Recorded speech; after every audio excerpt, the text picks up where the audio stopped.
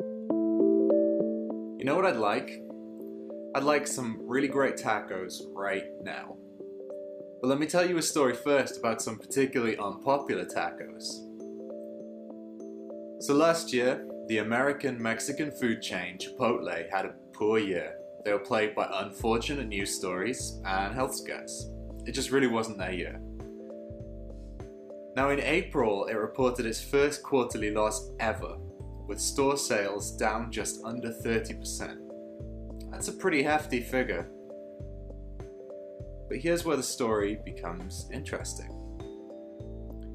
So, a couple of weeks before this quarterly loss was declared by Chipotle itself, Jeff Glueck, CEO of the company Foursquare, he predicted almost this exact figure.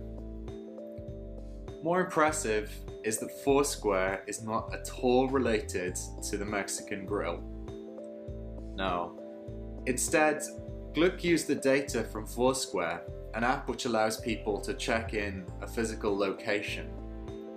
Using the footfall figures from his app, he was able to hazard a guess at how much money Chipotle had lost the previous quarter.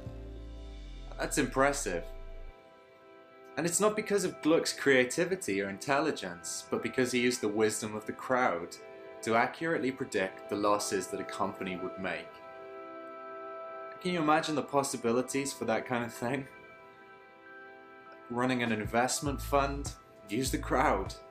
Management consultancy, use the crowd. Use the crowd.